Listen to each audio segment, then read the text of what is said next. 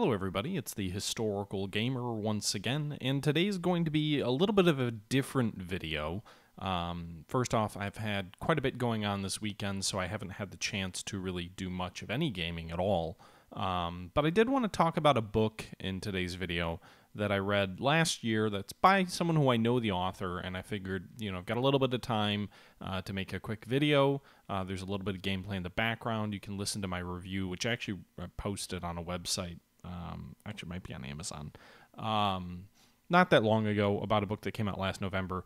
Uh, first off, uh, in terms of what's coming up next, I plan to actually have a first look video of Fantasy General on Tuesday. Wednesday will be my next War in the Pacific turn, and I'm not sure what will come after that. But again, didn't have a ton of time this weekend, so I just wanted to talk about a book. I know the author, and I figured I would give you a little bit of an overview.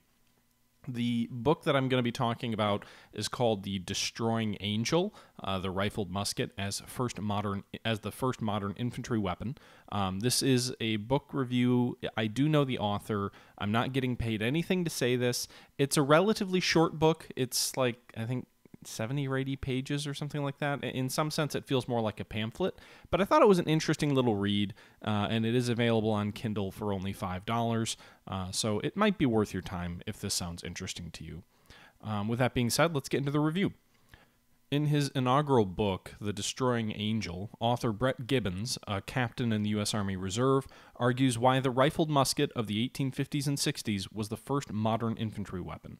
The weapon fundamentally altered the capabilities and roles of infantry on the battlefield. It resulted in new tactics and theories which made the weapon more similar to firearms today than what came before. In so doing, Gibbons challenges contemporary historians, most notably Alan Guelzo and Earl Hess, who argue that the technical limitations of the rifled musket prevented it from having any meaningful impacts on war and soldiers. Guelzo and Hess argue that the rifled musket had more in common with the smoothbore musket of Napoleon's time than the weapons which came later. Gibbons takes the opposite stance and argues the brief rifled musket era, about 15 to 20 years, represented a fundamental shift in both the capabilities of the standard infantry's small arms weapon and also the requirements placed upon the ordinary soldier. Gibbons argues the rifled musket necess- necessitated the adoption of a professional thinking soldier rather than the drilled automatons of the Napoleonic era. To make his case, Gibbons first looks at the clearest example of how the rifled musket changed warfare, that being the Crimean War. The Crimean War was fought from 1853 to 1856 between the British, French, and Ottoman alliance and the Russian Empire. At this time, the rifled musket was just beginning to become standard issue weapon in the British Army. The Crimean War is ripe with examples of how the rifle was changing warfare, and Gibbons details multiple examples to support his argument. He also reveals individual marksmen knocking out artillery batteries at ranges in excess of 500 yards, a, pre- a previously unprecedented occurrence, breaking up columns of inf- Russian infantry hundreds of yards before the smoothbore armed Russians could bring their Napoleonic weapons into range, and shattering cavalry charges with multiple volleys of accurate fire long before the cavalry could close to charge the infantry.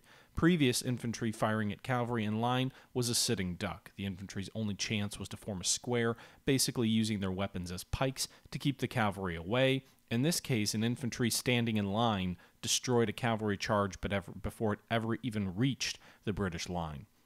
After these obvious and powerful examples, Gibbons talks about the weapon itself. What was the rifled musket? How was it different?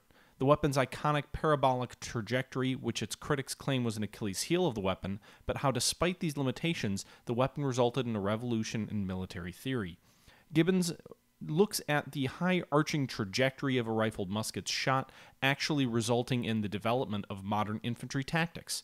This trajectory allowed the invention of infantry being used as support troops for assaulting infantry. Support troops would fire over the head of the advancing infantry to pin down the defender, while the assaulting column advanced in relative safety. Cover and support fire is a tactic which is fundamental to the modern way of war, even 150 years later, and this was made possible by the rifled musket. Gibbons also talks about how British trained soldiers to use their weapons in a highly professional manner. This was a revolution in of itself. Prior to the rifled musket, infantry was just a trigger puller, if you will. Smoothbore muskets armed soldiers just needed to point their weapon in the general direction of the enemy and pull the trigger, then reload and pull the trigger again. The rifled musket armed soldier needed to be an advanced soldier. He needed to know how to estimate distance, adjust his sights for distance, and aim deliberately. These new requirements prompted the British Army to open up marksmanship schools, something previously unheard of, but something which remains an essential piece of infantry training today. Uh, he also then returns to the battlefield with the additional examples of rifled muskets being used as modern firearms during the Indian Rebellion of 1857 and other nations failing to use the weapon as anything but a modified smoothbore musket, for example, in the Wars of Italian Unification. He discusses how different powers either successfully or unsuccessfully leveraged the capabilities of the new weapon namely the British versus the French approach, and he concludes with his, a brief look at the American Civil War and the contemporary historian's argument therein. In his final passages, Gibbons challenges the argument of contemporary historians Guelzo and Hess. Gibbons argues that both historians make the mistake of relying too heavily on the American Civil War in their evaluation of the rifled musket. His thesis, Gibbons that is, uh, is the rifled musket was the first modern infantry weapon. It also means that it was the first firearm which required a modern soldier. During the American Civil War, while U.S. soldiers were impeccably drilled in their maneuvers of Napoleonic armies, they received little to no marksmanship training. Modern firearms require substantial and constant live fire training to make an infantry effective. During the Civil War, marksmanship training was nearly unheard of because of the lack of training and the failure of the U.S. officer corps to adapt to a new way of thinking about their weapons. The Americans failed to leverage the new capabilities of their rifled muskets, despite having hundreds of thousands of soldiers armed with them. Gibbons claims Guelzo has failed to understand the way in which the rifled musket was revolutionary because they failed to look at the right conflicts. The British Army of the 1850s and 60s is where Gibbons argues the rifled musket was truly appreciated and where its full potential was leveraged. After all, I mean, just because your infantry isn't trained to use the weapon right doesn't mean the weapon in of itself isn't revolutionary, and it doesn't mean that the weapon isn't modern. If you had someone who had no idea how to use artillery, that doesn't mean the artillery piece isn't necessarily a modern marvel. It just means that you didn't have the right organization in place to leverage the advantage of that artillery. Guelzo and Hess are mistaken because the American armies they looked at were not training their soldiers to be modern soldiers. They were training them to march in the ranks of Napoleon or Wellington. American soldiers had the, neither the time nor the resources to do anything different. As a result, the claim that the rifled musket was not a modern firearm is faulty because at the end of the day, it was a modern firearm that was not necessarily being used as a modern firearm. The British, on the other hand, do show the example of what the weapon was capable of, and if you look at the British conflicts, you can see how the weapon truly did modernize, at least in the British Army, uh, the, the military to a truly modern standard. The Destroying Angel is Gibbons' first book, and he clearly has a knack for clear and precise prose. He was able to effectively and succinctly lay out his arguments and explain things like firing arcs and trajectories in a way that the ordinary reader can easily follow. I know basic geometry, but very little about firing arcs and other things like that. Gibbons is a captain in the U.S. Army Reserve, so presumably he knows a little bit more than me about these kind of things. Uh, but it was really easy and, and simple to follow along with.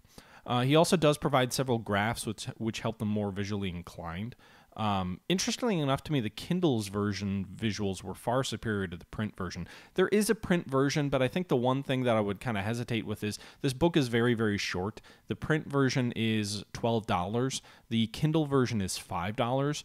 I'm not sure, given the length of the book, it warrants a $12 price, but I'm sure, given he's probably, you know, not selling many of these books because he's just an independent author, the printing costs force him to, to charge that much for the, the paperback version, um, which again feels more like a pamphlet than a book. But the Kindle version's quality is actually very solid, uh, and the graphs and the charts are actually better on the Kindle version, which was, I was very surprised with.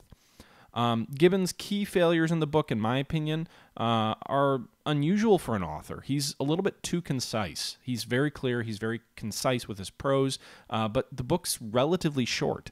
Uh, it's approachable and it's easy to read. Uh, the print version, I believe, is actually 100 pages, uh, but that lacks somewhat for contextual depth. Uh, it feels like at times Gibbons provides the necessary, necessary context for the rifled musket itself, but his case studies could have used more depth. They could have used more background. He could have set some of them up a little bit better. Um, it gives you a 10,000 foot understanding, uh, or sorry, it actually assumes you kind of already have a 10,000 foot understanding of the Crimean War and what it was about, that you have any idea what the wars of Italian unification are. Uh, and while this lack of context is there, I wouldn't say it takes away from the argument because the case studies he really looks at are pretty well done. Um, it just feels a little bit incomplete to the reader looking to understand why, you know, why were Italian soldiers not professionals like the British. Um, I know a fair bit about the Civil War, so I understand a little bit about sort of his critiques there of Guelzo and Hess. But I, I also, if I didn't know a lot about the Civil War, then it would be difficult uh, for me to to really have any any understanding of how the conflict was different perhaps than the Crimean War. I think the book could have dealt with a little bit more time and a little bit more depth and a little bit more background behind it. Um, with all of that being said, I do feel also that Gibbons focuses a little too heavily on the British Army and their use of the rifled musket, the book would benefit looking at how the Prussians uh, used the weapon. It does look at the Italians at a very superficial level, but uh, digging into a little bit more depth of how the Italians used it. What about the Austrians? You know, they made rifled muskets like the Lorenzes. They fought a war against the Germans in 1866. How did they view the rifled musket? Um, what were the uh, examples that they could use? Um, this might be you know too much uh, of a focus on the British Army itself without enough context in the outside world. There's just not in there just isn't much there in terms of detail. Um, a more detailed background of the development of the first rifles and how the rifled musket was different. The book touches lightly upon this. Uh, would also be appreciated. Still, these are minor complaints born mainly out of my desire to read more by Gibbons. Uh, on the whole, I fully enjoyed this book, and for $4.99 on the Kindle price, uh, I do think this is a, a pretty valuable uh, book if, if you're trying to learn a little bit more about the history of the rifled musket and why it was important, and why, um, while maybe not seeming to revolutionize the American Civil War, the British Army at least showed in multiple occurrences and multiple conflicts how this weapon truly did change uh, the way of war, and how it, in many ways, foreshadowed the tactics and the evolution of, of combat that was coming in the future. Um, it just wasn't necessarily fully grasped by all the individuals. I also think you see a little bit of the start of the truly professional British soldier as a result of this weapon. You know, you think of World War One and you think of the British soldiers being highly professional. The British were always disciplined, as was the case under Wellington. But I think by the time you get to World War One, you really have this uh, moniker of the British being, you know, these professional marksmen, whereas even in the other armies that wasn't quite the same case. And I think maybe this is is a good case to show this is where it came of. They're they're leveraging this technology in a way that no one else was really effectively doing it, and uh, it allowed them to become truly professional. Uh, you know, 50 years before uh, other armies would. That being said, that's my review of uh, The Destroying Angel. I do have a link with an affiliate, so I do get paid if you do buy it uh, in the description. I get paid very little. Uh, I'm not getting paid to do this review. Again, I just thought that it was an interesting little book that I read. Uh, I do happen to know the author. He is the admin on a forum uh, game that I've played since high school. Seems like a great guy, uh, and I figured I'd talk a little bit about it because it is self-published. He he put it together himself, and I think he's working on some other books. Actually, I think he just uh, wrote another book. Um, this one is about uh, I think it's what is it? He's got another book out here. It's called uh, the Handbook for the School of Musketry. Uh, it came out in February of 2019. Apparently, it is a handbook uh, about historically correct marksmanship in the Civil War era rifles. So within the uh, context of the United States Civil War. Um, it uh, faithfully summarizes the practical marksmanship lessons of the British Army at the School of Musketry at Hythe as they were presented around the year 1860. So this seems like another iteration of, of the uh, book he's already currently written. Um, so interesting. Anyway, I think it's worth taking a look at. Um, and again, if you're going to get it, get the Kindle version. Um, with that being said, uh, I'm going to go ahead and sign off and I hope you appreciated this video. Again, this is a little bit different. I don't do these kind of things very often, so bear with me if you will. Um, and then we'll return to our normally scheduled programming uh, tomorrow. Until then, though, guys, this is the Historical Gamer saying thank you for watching. Hope you enjoyed, and until next time, I'm out.